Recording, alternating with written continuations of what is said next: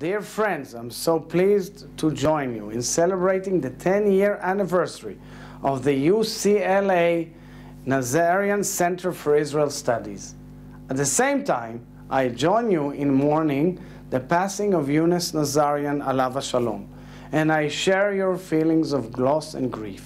Younes's legacy of tireless activism and remarkable support for the American Jewish community, and especially for those forced to flee religious extremism in Iran, as well as his lifelong efforts to build bridges between American and Israeli institutions, these are shining examples of the deep bond between the Jewish people and the State of Israel.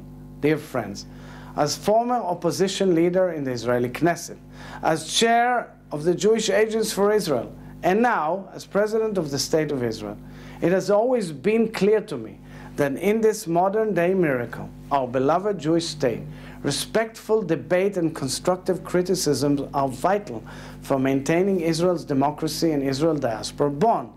A healthy debate over Israeli policies does not contradict love and loyalty to Israel. In fact, they strengthen each other, provided that the truth is being said and that it is understood that the just and noble cause of the creation of the Jewish state is beyond any debate and nobody can undermine it.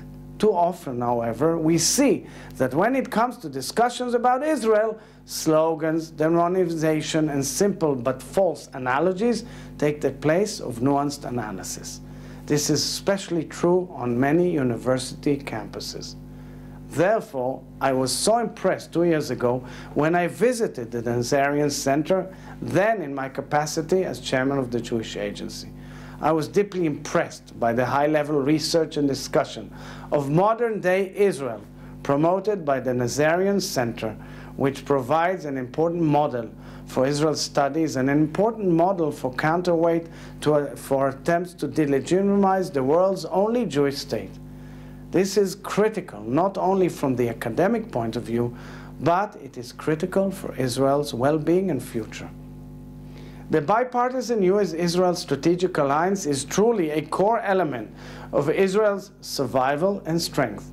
It is therefore crucial that the next generation of American leaders have a full understanding of Israel's complex reality and the incredible developments in our region. And as the Abraham Accords have shown, mutual understanding, dialogue, and respect are the building blocks for the future of stability and peace in the Middle East. In my own role as the President of the State of Israel, I've already visited the United Arab Emirates, Turkey, and Jordan, and held numerous meetings with leaders from around the world about Israel and about world Jewry and about the Middle East. And I congratulate tonight's well-deserved awardees who have focused on these issues so long, for so much time, and with such great efforts. My dear friend, Sharon Nazarian, and the Rosalind and Arthur Gilbert Foundation.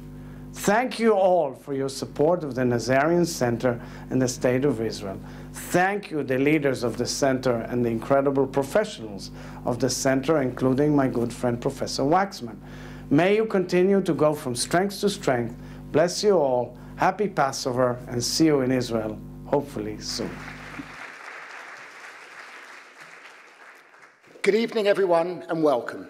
I'm Dov Waxman, the Rosalind and Arthur Gilbert Foundation Chair of Israel Studies at UCLA and the Director of the UCLA Younes and Soraya Nazarian Center for Israel Studies. Thank you so much for joining us tonight to celebrate the 10-year anniversary of the founding of the Nazarian Center for Israel Studies. We're not only celebrating this major milestone, but also the Nazarian Center's many accomplishments over the past decade, from teaching thousands of UCLA students about Israel and hosting dozens of Israeli scholars, to engaging a growing worldwide audience through programs that explore Israel in all its complexity and diversity. We have lots to celebrate, as you'll soon see in a short video about the centre.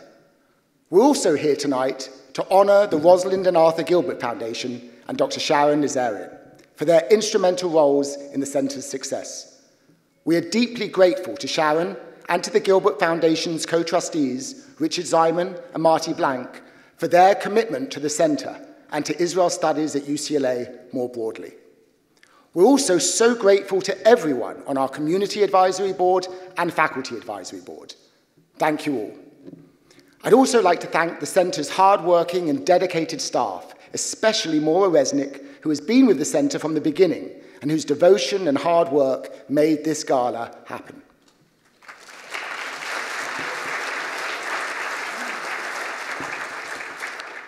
Tonight, we will also pay tribute to the life and legacy of Younes Nazarian, who recently passed away at the age of 91.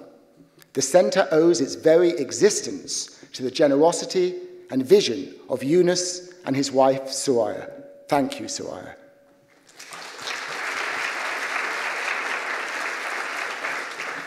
While we mourn Younes's death, we also want to celebrate his amazing life and his many contributions to so many worthy causes, both here in the Los Angeles region and in Israel. May his memory be a blessing. Last, but by no means least, tonight we will hear from our special guest, Israeli government minister and member of Knesset, Merav Michaeli, who has come all the way from Israel to be with us. Unfortunately, Lucy Aharish is unable to join us this evening, but we're delighted that Jodi Rudoren, the editor-in-chief of The Forward and former New York Times bureau chief in Israel, has very kindly stepped in to have this conversation with Minister Michaeli. With so much happening in Israel lately, they will certainly have lots to talk about. We are honored to have these highly accomplished women join us tonight. We're also honored to have with us this evening UCLA's Chancellor, Gene Block, and Israel's Consul General in Los Angeles, Hillel Newman. Now, without any further ado, here's a short video about the UCLA and Soraya Nazarian Center for Israel Studies.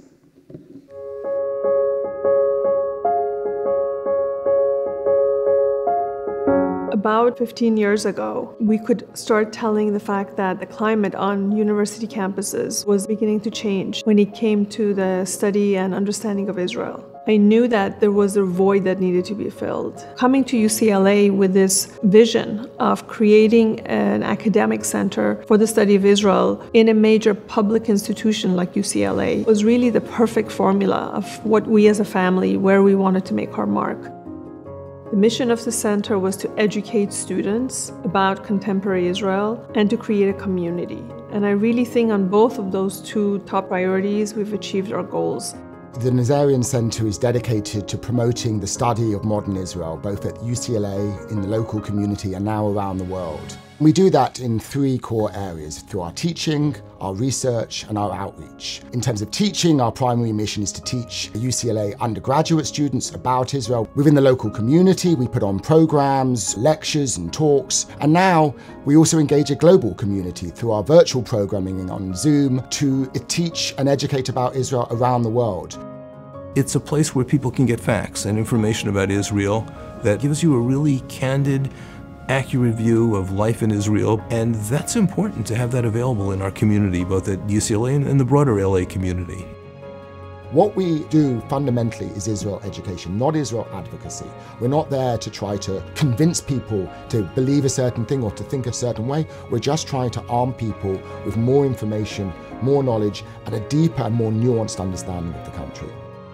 Israel is such a divisive conversation, especially on UCLA's campus, and having this opportunity where we can have open and academic conversations and learn about Israel without bias is such a blessing because it brings diverse students into the classroom and we're able to continue on these conversations outside of the classroom as well. It approaches the question of Israel and Israel studies not from a narrow angle of politics or science or water or theater, but all of them combined.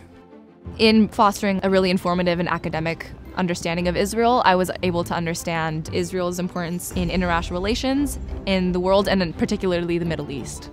It just has given me a lot more certainty in what I actually believe in, and it also forced me to change some of my beliefs. To watch their eyes light up when they make a connection that they hadn't thought of before or to watch their shoulders fall when they encounter an idea or an experience that is challenging for them to process emotionally is really rewarding because it gives me proof that what we do really makes a difference.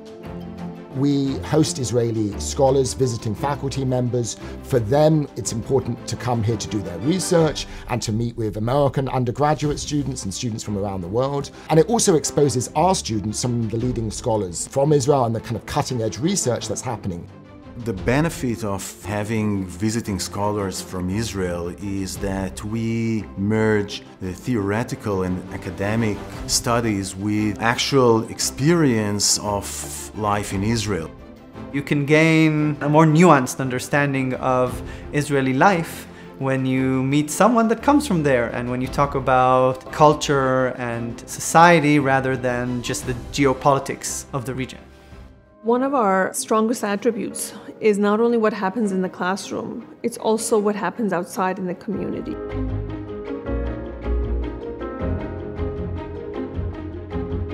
I really have appreciated the conferences and symposia that the Nazarian Center has presented, both to the scholarly community here on the campus as well as the public. What we've done with the arts is there's symposia that have brought artists from Israel, professors of contemporary Israeli art, to speak about the Israeli culture through the arts, really shared the reality and the nature of Israel we are always emphasizing that Israel Studies and the Nazarian Center isn't just a place for Jewish students to come. I'm not Jewish, I'm Catholic, and I have found that the Nazarian Center has been a really important place for me to understand and learn about Israel. I have felt so welcomed and so appreciated also.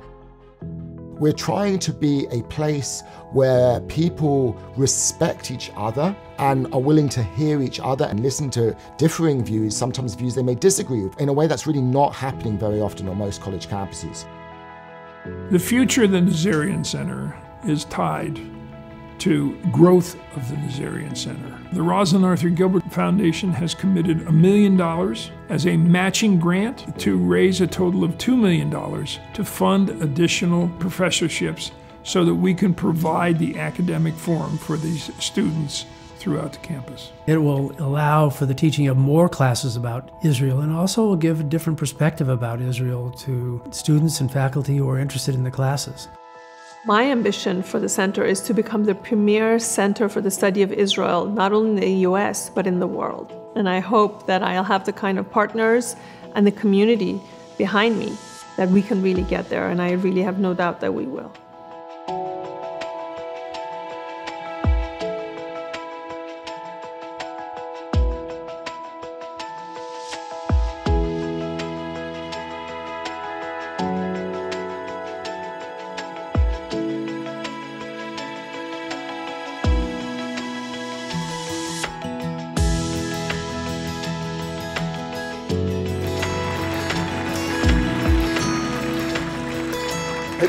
Enjoyed that video.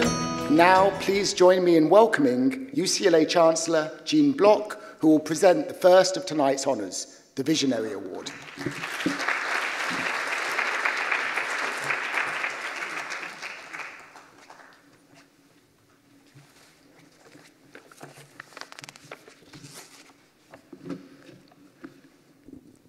Thank you, Dov. So this is a bittersweet moment. Uh, as has been mentioned, today's milestone celebration comes along the recent passing of the patriarch of the Nazarian family. So I knew Younes to be a deeply gentle, kind person. Um, as I mentioned recently, whenever I invited him to UCLA, even when he wasn't feeling well, he was there, uh, always positive, never complaining, really being an enormous supporter uh, and just an extraordinary individual. He had a perspective, you know, born out of his own history, heritage, and experience as an immigrant, that education is the path to stability and fulfillment and joy. And that belief is reflected in much of what Younes helped to create, including the center which we're celebrating tonight.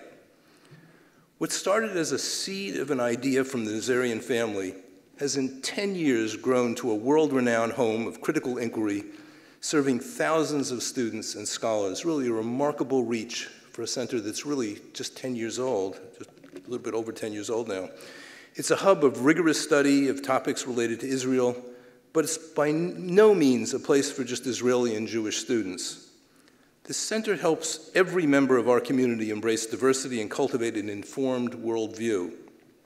It has brought Israel to life for our students through its visiting Israeli faculty, scholars, and artists. It's provided a space for robust, fair, and level headed discussion about complex geopolitical issues. Studying the history and policies of Israel can stir up passions, and the Nazarian Center is a home for conducting vigorous debate, but in a respectful way. I have no doubt that the Nazarian Center will continue to grow and influence in, in stature in the next decade. It has just really been a spectacular start. As the center expands, Younes and Soraya's dream will be enlarged and brought to life in the thousands of students, scholars, and citizens from across the globe. Now I'm pleased to present the Unison Saraya Nazarian Center for Israeli Studies Visionary Award. This award is given to individuals or organizations that have uh, furthered the center's mission through its keen force, through their keen foresight, imagination, and leadership. Today, I am pleased to recognize the Rosalind and Arthur Gilbert Foundation, led by its co-trustees Martin Blank and Richard Ziman. From Israel Studies' earliest beginnings at UCLA, the Gilbert Foundation has been a key partner the foundation endowed UCLA's chair in Israel Studies, currently held by Professor Dov Waxman. When the Nazarian Center was established, the chairholder became the director of the center. The Gilbert Foundation has also supported students studying in Israel through a Centennial Scholars Endowment, and most recently, as mentioned, provided a $1 million challenge to help bring more faculty uh, in Israel studies to UCLA, a challenge that you're all helping meet uh, tonight. Throughout the years, the Foundation and its co-trustees have been steadfast in their dedication to the Nazarian Center's success. Marty and Richard, please come up and join me to accept this award.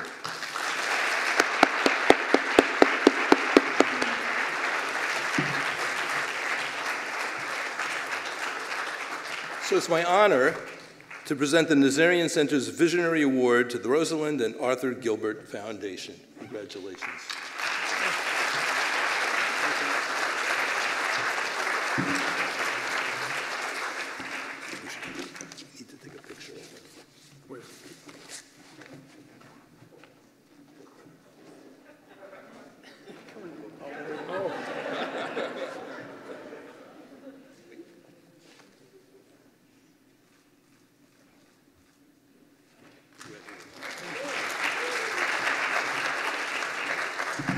So you heard my chancellor say, this is a matching gift. And uh, it doesn't have a time on it, but uh, expediency is important. Uh, I'd like to thank Sharon, Sharon Nazarian, for, from the very beginning, and for her steadfast commitment through all these years. It's actually uh, 12 years, almost 12 years, uh, but we don't count the two during the pandemic. Um, Soraya, you and Younes have ensured the continuing success forever of the center. And I'd like to once again applaud both of you.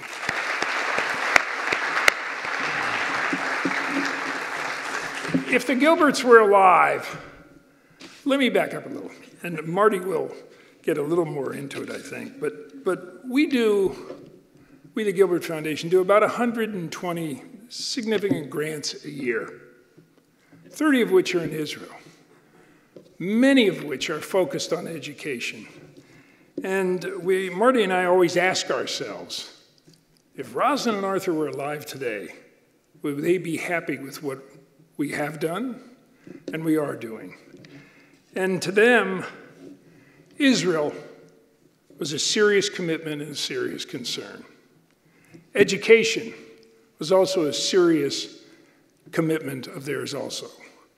Here, the Nazarian Center represents both education and Israel. And by virtue of our getting involved early in the center, we then, because of the success, initial success of the center, moved to UC Berkeley. And I'm proud to say we established, and also a chair at UC Berkeley. It's, I can never remember the name. It's not called the Israel Studies Center, but we had to find a home. It's in the law school, so they found a form, uh, an appropriate name. But the Gilberts, the Gilberts would be very proud, very proud of what we've done tonight, uh, what we've done along the way. Um, when I say this gift is matching, uh, there's a reason. Uh, we need more dollars for the center. There's students who want to be exposed to Israel and its many facets, but we don't have the professors, and they unfortunately then can't attend. So I do thank you for all your support tonight, but there's always room for more. So give it a thought. Um, to my partner, Marty, um, he's been a partner along the way, and I always like to say, in all my endeavors, including business, and many of you know it's been very complex, that he's been the best partner I've ever had. And I'd now like to introduce you to Marty.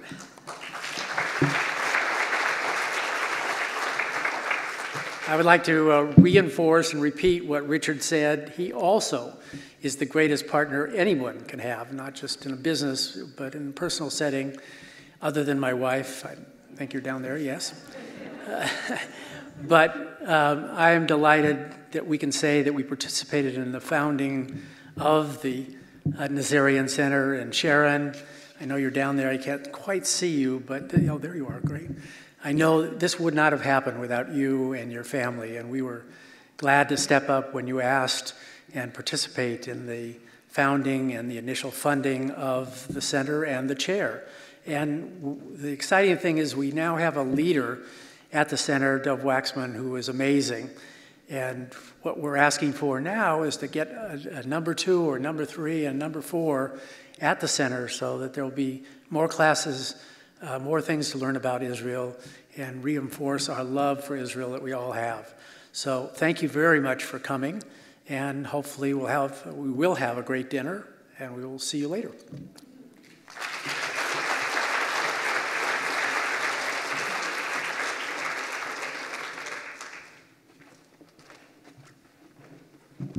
Thank you, Richard and Marty, and thanks for the pitch for the Nazarian Centre. Uh, and, and uh, congratulations to the Rosalind and Arthur Gilbert Foundation for its incredible vision and generosity. One of the Nazarian Centre's goals has always been to foster productive discourse about Israel among UCLA students from differing backgrounds and with diverse perspectives. Since its founding, the Center has reached over 7,000 students in the classroom and through in-person programming. I'd now like to invite to the stage two such students whose educational experiences at UCLA have been deeply impacted by the Nazarian Center.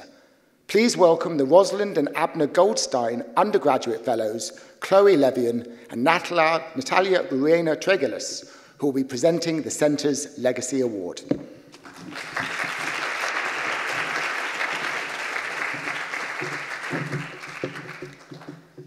The Y&S Nazarian Center Legacy Award was created especially to recognize Sharon Nazarian for her unparalleled role in the founding of the Nazarian Center and her unwavering commitment to the center's mission of education and scholarship and her outstanding efforts on its behalf. Speaking as a Nazarian Center undergraduate fellow, I can truly say that there exists no one more fitting for this award than Sharon. Your dedication to the center and its incredible successes are inspiring to us all. Sharon, on behalf of all the UCLA students who have benefited and will benefit from the Nazarian Center's incredible and necessary work, we want to thank you for all that you have done to ensure the center's success. The Y&S Nazarian Center has deeply impacted our educational careers and plays an instrumental role in the UCLA community. UCLA is a better university because of the Y&S Nazarian Center, and we are so grateful to you and honored to present you with this award. Thank you.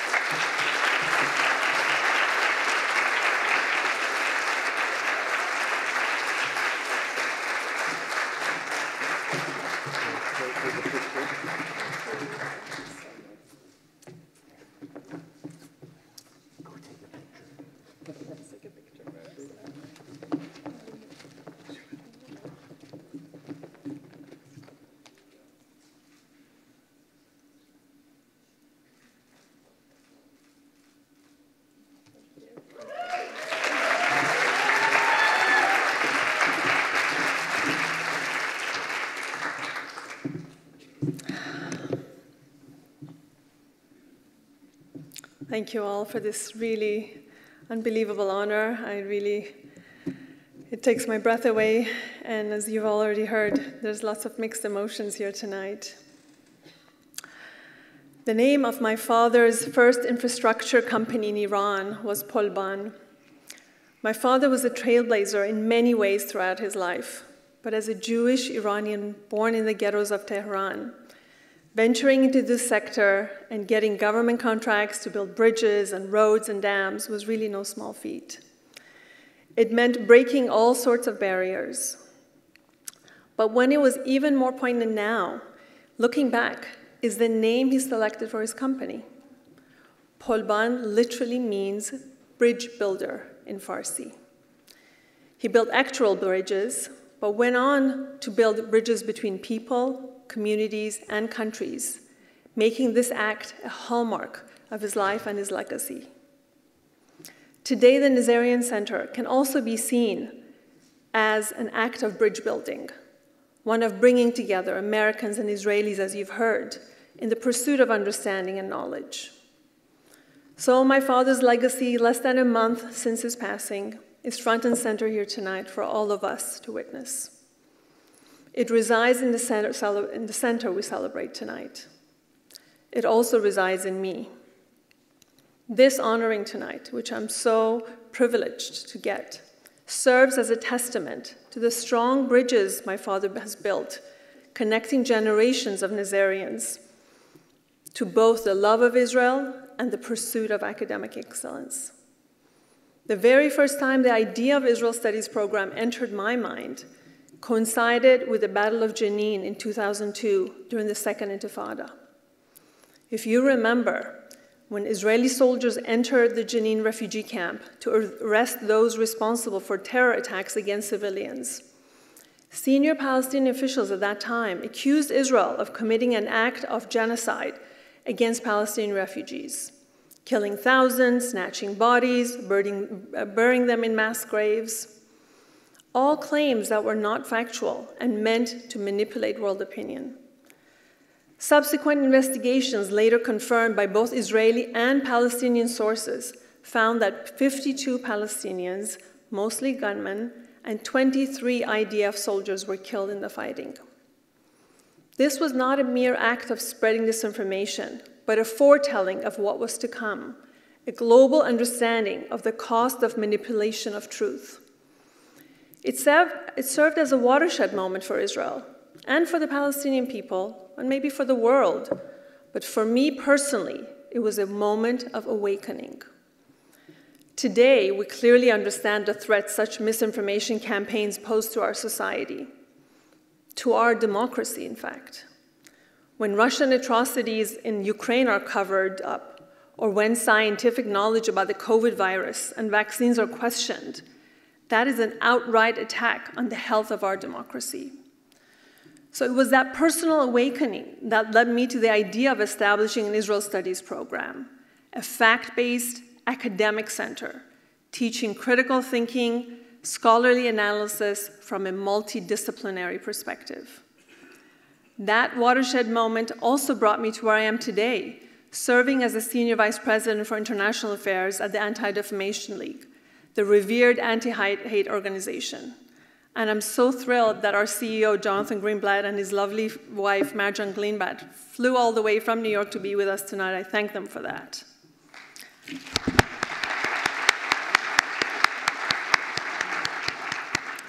So in my post at ADL, I'm literally at the forefront of fighting hate speech, disinformation, and misinformation every single day, including the delegitimization of Israel on the world stage that Professor Waxman referenced. So tonight, I stand here on the shoulders of those who provided the building blocks of this beautiful and impactful center. Like a bridge, without a strong foundation and solid pillars, no entity can stand the forces it encounters. So without the leadership and vision of then Chancellor Albert Carnesale, who is here with us tonight with his lovely wife, Robin, who is also a member of our advisory board, we wouldn't be here tonight. We thank them both for their leadership. Thank you.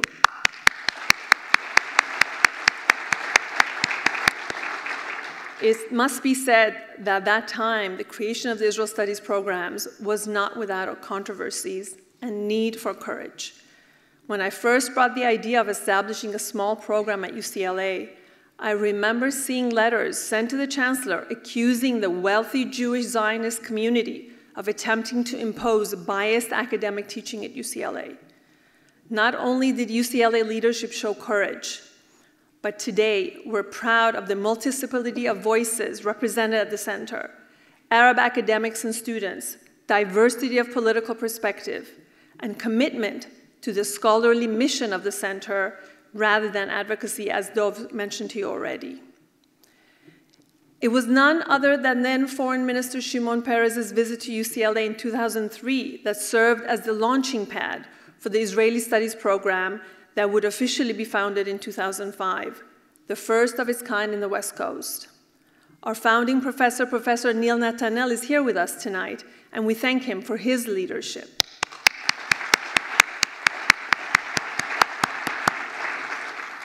Strong partners are another pivotal pillar which allow for sustained growth.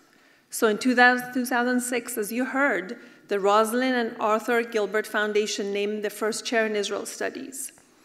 The Gilbert Foundation is honored tonight not only for the significant and invaluable gifts the foundation has provided the center, but also for the partnership that Richard and Marty have offered every step of the way since 2006 as thought partners, as advocates, and as stalwart defenders of the study of Israel on campus. I want to personally congratulate the foundation staff and specifically Richard and Marty for their, this well deserved honor and for your partnership all along. Thank you.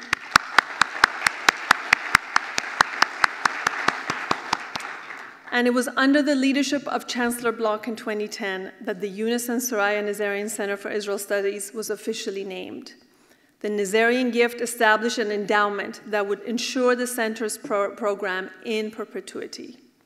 Thank you, Ch Chancellor Block, for your leadership. We appreciate everything you've done for the center since.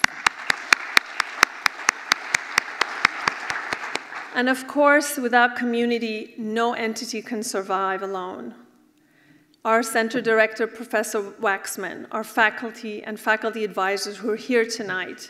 And I want to mention Professor Carol Bakhos, Kal Raustiala, Yoram Cohen, so many. They are at the heart of the center and they make it tick every day. Thank you for all of you and every work that you do in the classroom, outside the classroom, every single day. Thank you.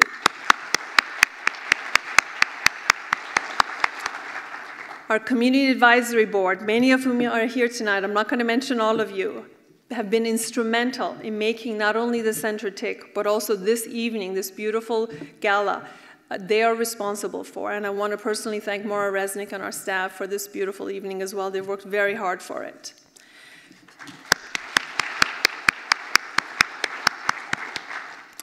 So tonight, I want to end with the word that is very important to our family and that is the word family itself.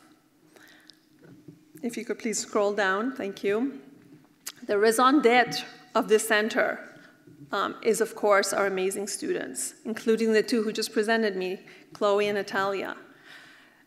It's for you and the generation of students to come that we're all gathered here tonight. And so we hope that what we've built will endure and will continue to give a wonderful future to all who want to learn about Israel. So, really speaking about the final building block, I can't end my comments without addressing the most important one, and that is family. My husband Fernando, who entered my life, and we just celebrated our fifth anniversary this weekend, is the very, my own pillar that I couldn't stand here without his love and support my three beautiful children, Sarah, Layla, who's here with us tonight, and Adam, and my eight nieces and nephews. My first grandnephew, Lev, they represent the continuation of my father's legacy and the passing down of their, his values, Lador Vador, from generation to generation. My siblings, David, Shulamit, and Sam, and their wonderful spouses and partners, Angela, Matt, and Amina, I want to thank them for their immense pride in our center and their deep appreciation for how impactful our work has been and continues to be. And last but not least, my parents, Soraya and Younes, the namesake of the center. You've heard me reference my father as the bridge builder. I would say that my mother, Soraya, is the creator, the one who can envision beauty in the block of stone. Without their investment, without their support, without their love, neither I nor the center would be possible. So thank you so very much to all of you. Thank you.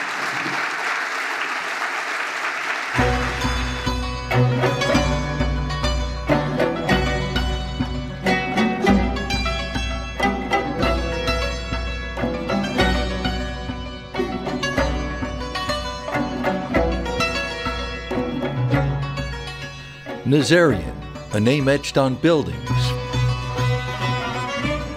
found on numerous boards of directors, and synonymous with success.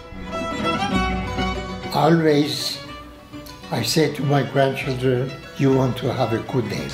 The impact they have had has truly been felt around the world. When you're honest, when you respect others, you support, you help without any condition, and they respect you people. He's a man who builds fortunes from hard work and integrity. Probably one of the most hardworking people that I've met. Whose fearless ambition helped him rise up from poverty to become a captain of industry, never afraid to take a risk. I cannot call risk because that's the only way we have to do it. His achievements are many, a name associated with triumph. Younes Nazarian's story is unique. As a Persian Jew, he broke through many barriers. His visionary outlook on life led him to become a working class hero whose hard earned success was born out of a never say die spirit. It was his bold vision that saw the family through troubled times, through revolutions, losses, and daunting times of uncertainty. In how my father talks about it, and that I think affected him in his future, you know, growth and understanding is that how you capture and get over your fears and how fears could hold you back or coming um, overcoming it can allow you to grow. That spirit was formed in a South Tehran ghetto where his single mother, known as Ima, worked hard to raise her two boys. Vicious anti Semitism was status quo, and Younes had much to overcome. He lost his father when he was two years old and raised in a very, very poor family. But he was always optimistic. Always he was someone that believed that tomorrow is better than today. In 1949, he made his way to Israel, pretending to be an Iraqi refugee. He was smuggled out of Iran only a year after the State of Israel was born. He joined his brother in carving out a new life. The immigrants arriving today come from different parts of the world. Many of them are young, and all of them share the belief that by working together they can make Israel into a strong nation. He credits joining the Army, where he served as a border police officer, for adding to his solid foundation in life. He was a very good teacher for me. As much as the brothers loved Israel, both Younes and Parviz saw newfound opportunities in Iran and set out to return to their country of birth to build multiple businesses. It was here he was to meet his future bride, Soraya. The big success I have after returning from Iran is the four children and definitely lovely wife. He was very different than the among the Iranian uh, guys in the in Iran. Mm, more respectable and uh, open-minded and he looks very much the ideal and good person for me. Mm-hmm. I was thinking that was very different and very uh, kind of the person that I can enjoy to share my life with him. With the stability he achieved through hard earned financial success, Younes now had everything he dreamed of a family of his own, a life built with Soraya. As the Nazarian name became synonymous with success, fate would once again intervene. The Islamic Revolution toppled the Shah and brought Ayatollah Khomeini to power in 1979. The tensions leading up to a revolution in Iran resulted in losing nearly everything they'd built, as the Nazarian family sought refuge first in Israel and then in America. From poverty and persecution to salvation found in two countries, Israel and America, to a name he built that's now synonymous with success. Younes Nazarian says his greatest joy now, sharing his success. Very quickly became very clear to me that this really, in a way, is the chapter that he cares the most about. This is what he chose to leave behind, the legacy. Um, and the character came through there too. It's, as we all know, very rare for men who come from abject poverty, not having a father, having really a difficult life story, to reach a point where their life, in their lives where they feel that their generosity is really their legacy. Ever the Builder, libraries and dance centers have been created. Their generosity to the underprivileged is renowned, and millions in grants have been given. Dear Mr. and Mrs. Nazarian, your special focus on libraries is a clear statement of your desire to promote wisdom.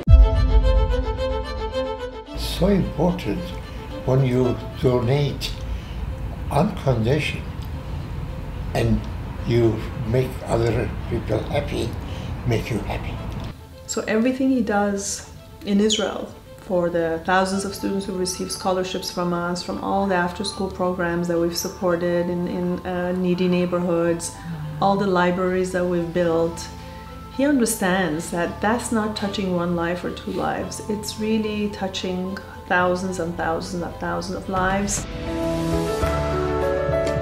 These honors have earned Nazarian honorary doctorates from the University of Haifa and Cal State University Northridge. In recognition of Mr. Nazarian's outstanding work to advance the arts and education, the Board of Trustees of the California State University and California State University Northridge are proud to confer upon Mr. Nazarian the honorary degree of Doctor of Humane Letters.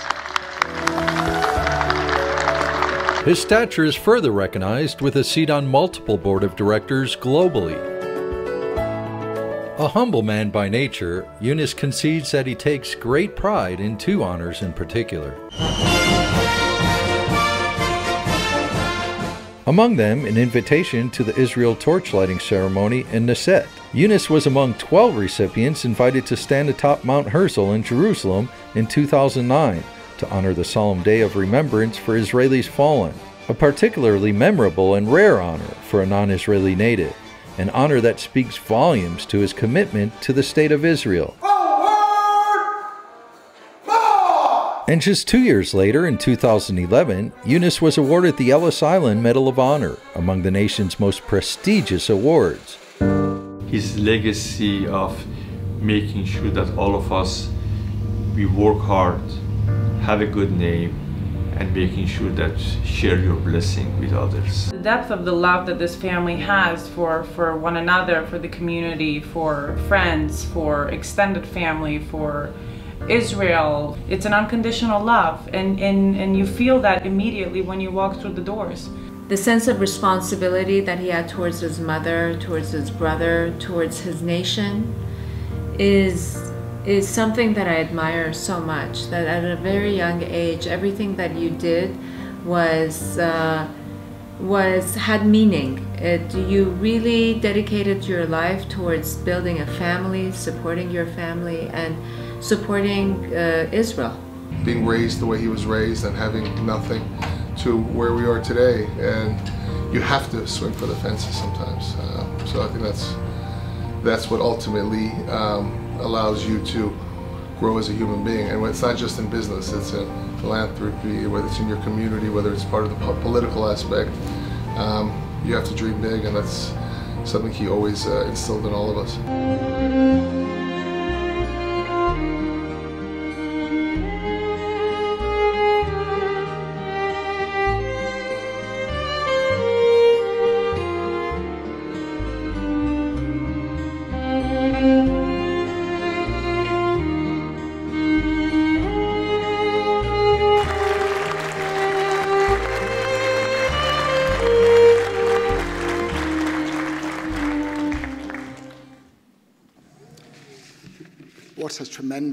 Life Younes Nazarian led, and what a legacy he has left. We are truly honored to carry his name. Now it gives me great pleasure to introduce our special guest speaker, member of Knesset and government minister, Merav Michaeli. Minister Michaeli has been a member of the Knesset since 2013, and in January 2021, she was elected leader of the Israeli Labour Party breathing new life into the party and enabling it to join the current coalition government. She serves as Israel's Minister of Transportation and Road Safety, is a member of the Security Cabinet, and is the head of the Knesset's Gender Equality Cabinet, which she established.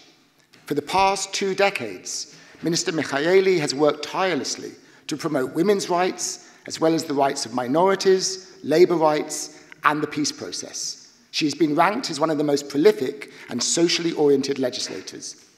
Joining her for this conversation is my good friend, Jodi Rudoren.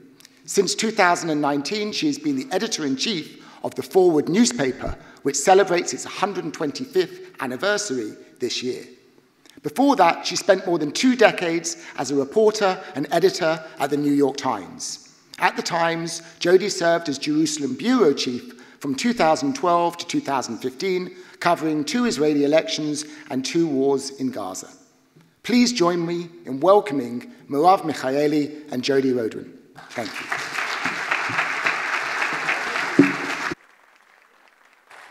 Picture now?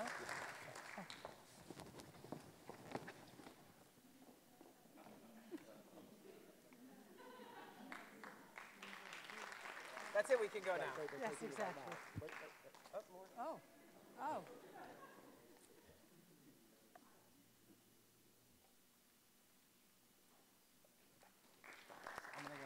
Okay.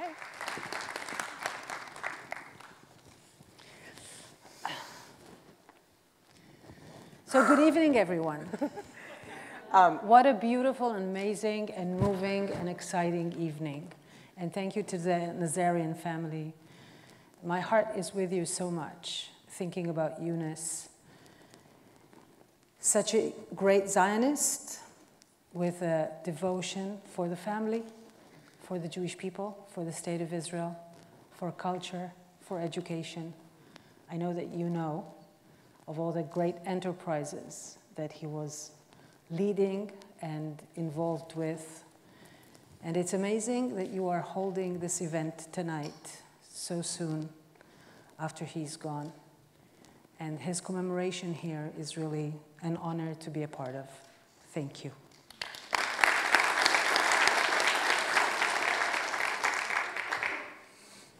I'm very impressed. It's three in the morning where you're from, so. I don't know. I slept through the flight. Oh, good.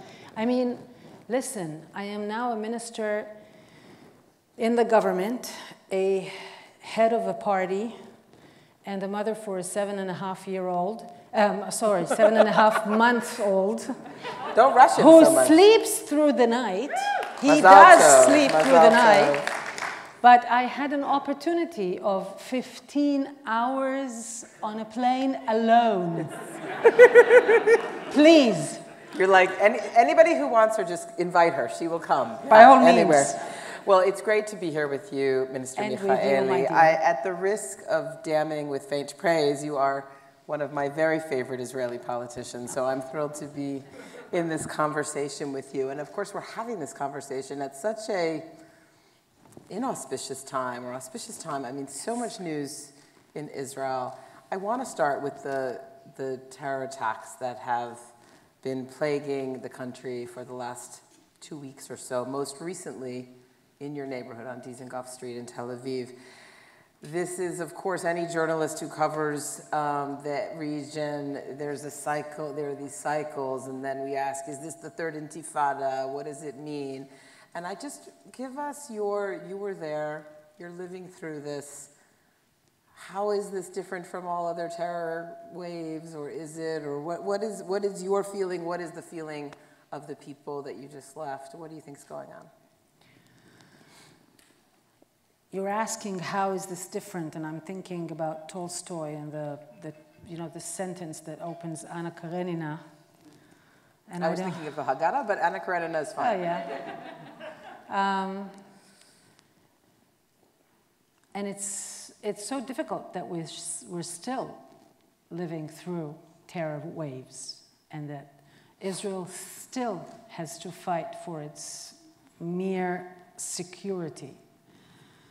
Um, and at the same time, it means that we have some sort of basic resilience in front of this.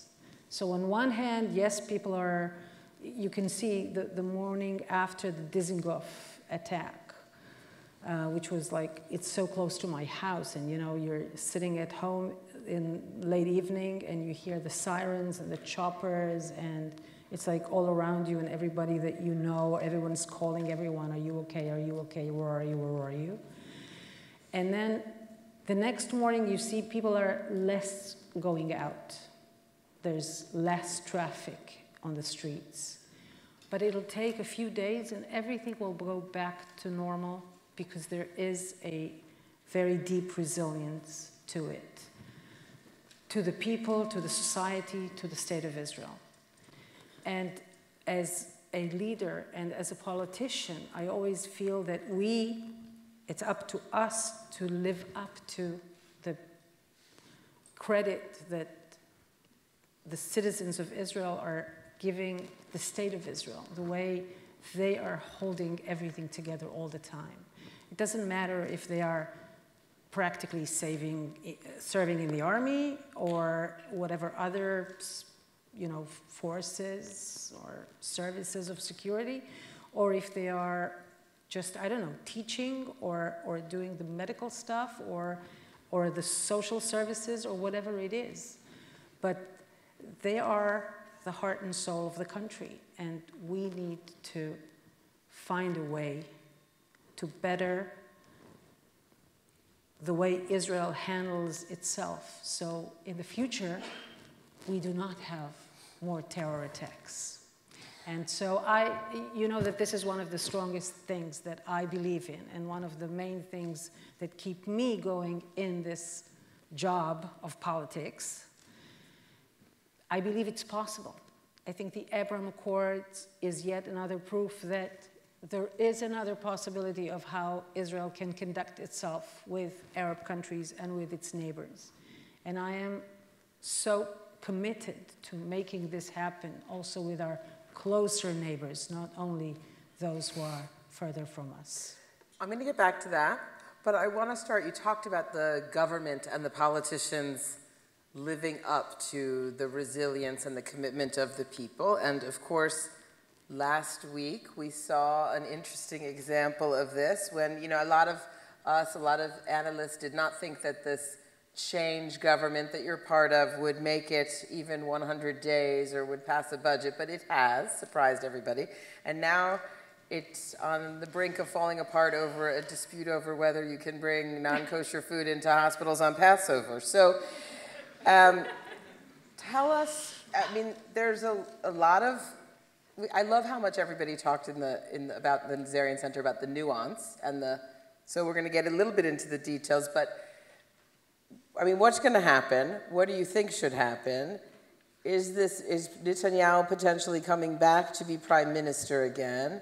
Will we have, you know, Dov introduced me with my old bio that emphasizes that I covered two elections in two years. Now you have elections like every few months there, so it's no big deal. Are we going to see a fifth election? Mapitom.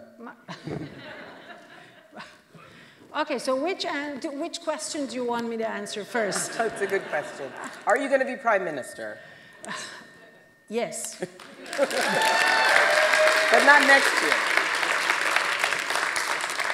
Like before, we need to maintain this government. How can you maintain this government if you don't have the votes? First, let's um, establish, if this is not clear yet, how historically important this government is. And that is for a few reasons. One is that it stopped an ongoing crisis, a crazy, crazy, horrible crisis in Israeli politics, and also it saved Israel from a threat to its democracy. Secondly, because it's a kind of government that we never had. It's not that you have one big party and then maybe some affiliates, but it's eight different parties that came together to create a coalition. And then, and it's a, it's a very diverse coalition right, left, secular, uh, religious, and for the first time ever, a coalition that has an Arab party in it, which it's high time that it had happened. So it's really a very important government, even though it still isn't the government that labor is forming as it will when it goes back to being a ruling party. No, uh, the one I'm forming in my vision to bring Israel back to the, the Zionist um, path that we promised ourselves in the Declaration of Independence.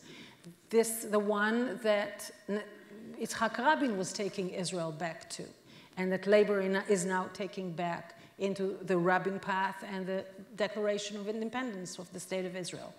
This is the government that we will have. So even though it's not yet this government, it is an important government, and labor is very, very committed to keeping it. Now, it's not on the verge of breaking. Yes, there is a crisis. It's, but this is politics. It's Israel, if, it's a crisis. It's Israel, it's politics, it's, yes, of course. Um, I, I have to tell you, after all this, I don't know, very long period of, yes, Meshigas, then Israelis are addicted to the drama. You have to supply some drama every now and then.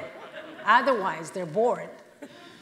So I have to tell you, I was supposed to come yesterday morning to Los Angeles, but I postponed it in a day and I, because of the terror attack and because of what's happening with our politics, so I made sure to be in all the cabinet meetings that we had yesterday. We had a security cabinet meeting and the cabinet meeting, and every um, Sunday, the cabinet meeting is at 11. And before that, an hour prior to that, at 10, at the Prime Minister's office, we have a meeting of all the heads of the coalition. That is. To each of the heads of the parties. Yes. That means uh, seven men and myself. Um, You're used to that. Every week, it's a reminder of the way we still have to do, us women, you know, on the way to equality. Every Sunday morning, it's like the beginning of the week saying, okay. so, but what I want to tell you about this specific meeting is that it was very clear that all the heads of the parties are in this together and everyone were focused on figuring out a way to come out of this crisis and keep the government going. Because this government is really working. It's really working for the state of Israel, for the citizens of the state of Israel. It's been a long time since we had a, a working government. So we will do everything in our powers to keep it and to keep it working. I mean, it's so interesting to hear you talk about it because, of course, when you joined the government, you acknowledged this is a right wing government. This is a government that does not, it's not going to accomplish what I want right. on the big questions. And I was struck by a couple of quotes from an interview you did in December with the Times of Israel. They're short, so I'm going to read them. One thing you said was, fighting may be good politically, but it will achieve the opposite because I cannot win. Meaning, I think that, you know, you your labor positions do not have a majority in the cabinet or the Knesset. And then you also said, I'm very loud in cabinet, which I imagine you with the seven men. Um, I'm very loud in the cabinet, but outside there's no point in having the argument right now. So ah. I'd, love, I'd love you to say more about this strategy or these reflections, whether you think it's really worked over these months, how it's worked, and also do you recommend this as a broader life philosophy for all of us? It's about closing ranks, I think. It's the same as I was doing as a member of uh, Knesset when I had, as a member of labor, uh, when I had chairs whom I sometimes agreed with and sometimes I wasn't agreeing with, but I never criticized them outside the party because it would weaken the party. So again, if I want, if I'm realizing that right now this government is the thing that Israel needs, and it is the best option among the options that we have, then yes, I have to make sure that outside, it holds and it holds well. So I definitely am making my points within the government and fighting for the things you know that are important for me. But I will not. I don't think there's. It's just. It's really non-constructive to do it outside. And it doesn't mean, like, for instance, one of the things that labor is fighting for is uh, we are fighting for the agriculture in Israel. So the um, treasurer wants to do this reform, which we think is destructive, so we wage the, the fight against it. It's okay, but it's not about um, bashing the partners. That's the difference, maybe. I mean, I suppose that's in one way, that's what the opposition does, right? Is you Yes. spend your life fighting and shouting and da, da, da, and you were in the opposition? For and now you're nine years, and now you have to make the, the segue to, you know, being the government. I want to ask you about being the, being the only woman in that room. Um, long before you were a politician, you were one of Israel's leading feminists, um, speaking first of degendering the Hebrew language very famously. Um, and this is the most diverse Knesset and, and government in Israel's history and the largest representation of women, which I think brings it to 31st out of 33 democracies in terms of ranking on the representation of women. It's not generally doing well. So I wonder what you think you and other female ministers being in the government and having this slightly larger representation in the Knesset, how do you see that reverberating out into society um, in terms of gender equity more broadly in Israel?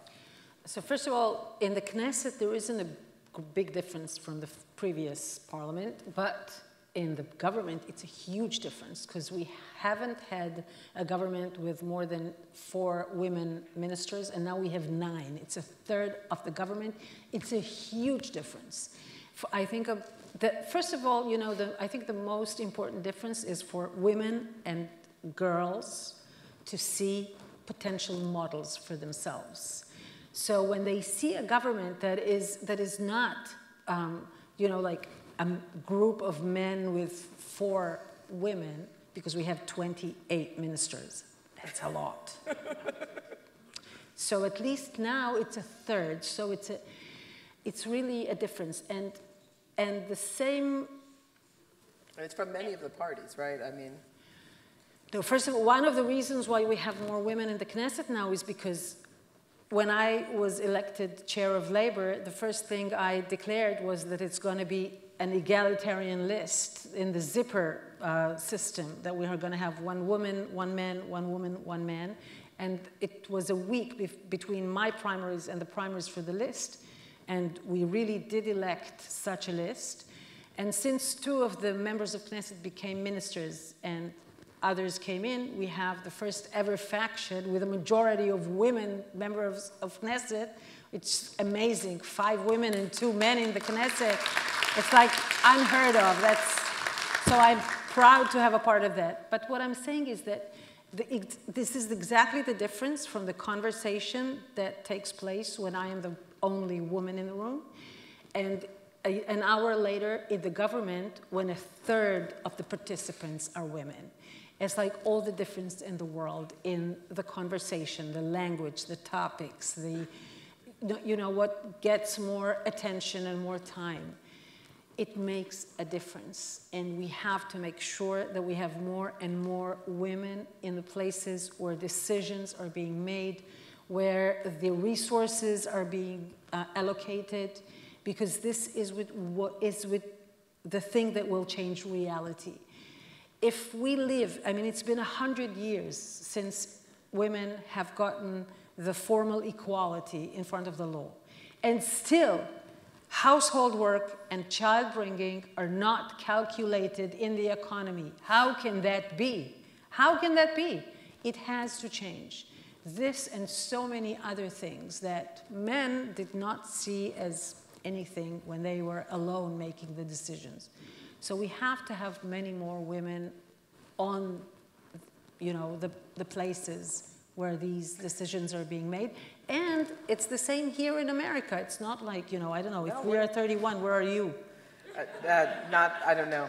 Not so. this isn't about us. Not, not much higher, let me tell no, you. I repre- yes, I represent, but you have a female vice president, a new African American female on the Supreme Court. By all means. We're getting there. Um, no, I think that that juxtaposition you talk about, about going from one in eight to 33%, like in back-to-back meetings, is a really powerful metaphor. You should keep talking about that. That's okay. Okay. Yeah.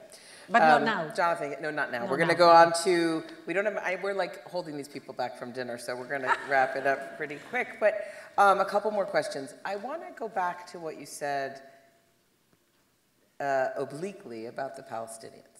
And you joined this government knowing that it was not going to advance the peace process, knowing that the leaders uh, did not agree with you about a two-state solution with the Palesti- Palestinians, and you went ahead in hopes that you could block any further moves to make that dream even less possible than it looks. But many, many here, many people, you know, really deeply worry about whether it is at all possible, whether there's, um, they've given up hope for peace or for two states. They see that there's consensus emerging on both sides against it. They see there's not a Palestinian partner. They see there is no will for such an agreement among the Israeli right, which keeps prevailing sort of in elections. They see the settlers, 600,000 settlers living in the West Bank. So do you honestly believe that two states are still possible, and what could possibly bring it about? Listen, I am a third generation um, Holocaust wise. And I look at what's been happening in the Ukraine these days. And Israel has taken in um, about 20,000 refugees so far. And I am reminded every day how much a state for the Jewish people and the state of Israel is not something that we can afford to give up. And in order to maintain the state of Israel as the homeland for the Jewish people, we need to have a two state solution. This is the Israeli interest. As an Israeli leader, I keep that in mind all the time.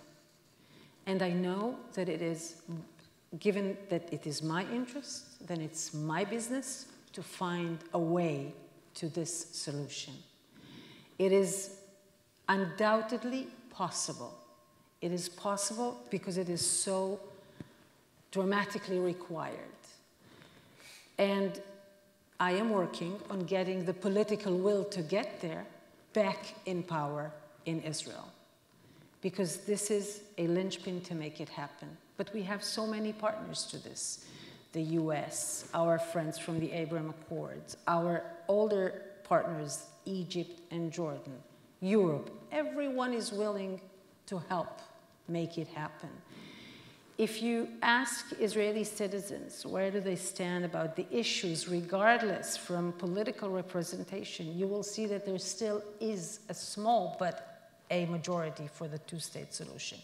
Of course, the majority doesn't believe it's achievable because if you look at what was happening for the last, I don't know, 25 years, they've only um, experienced failures.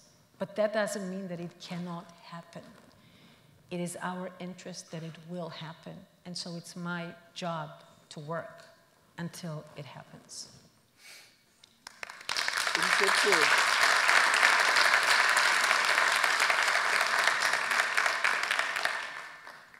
So part of your explanation in the beginning of who you are included that you're a mom of a seven and a half month old. No, it was seven and a half not an year ex- a description of who I am. It was a description of why a 15 hour flight is a present.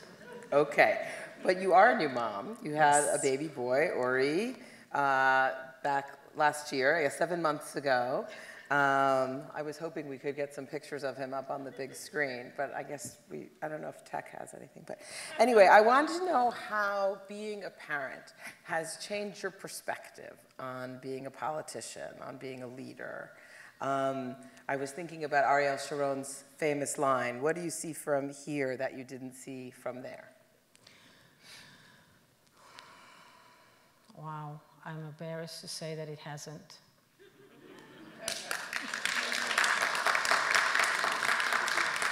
First of all, that you, you know that as a feminist, I was so deeply engaged in, in all the issues that have to do with motherhood. Um, from a feminist point of view, I was, it was so much uh, my business that none of what's happening ever since I have Uri living with me uh, surprising. I really knew what I was getting into. I know it's this very weird. Wait, did someone record that? This must be the ah. first mom in history to say, nothing surprised me, I knew what I was getting into. I knew what I was getting into. I was, I was, listen, I, the reason, it, as, I mean, it's, it was already written, I didn't want that. I knew what I was getting into. So by the time I already had Uri, I already made my peace with what it means. So no, it wasn't surprising, it wasn't new, and it did not change my perspective. What I believe we need as a society, as women, as children, as men, by the way, men, you men have so much to gain from supporting feminism, um, is the same. It's just the same. All right. Thank you so much, Minister Michaeli. It is great to see you. Thank you, everybody. I have no instructions on what I'm supposed to tell you to do now. I hope somebody's coming back to tell you. Yes, Dov is coming back. It's been great to be with you. Thank you very Enjoy much. Enjoy dinner. It's great seeing you guys.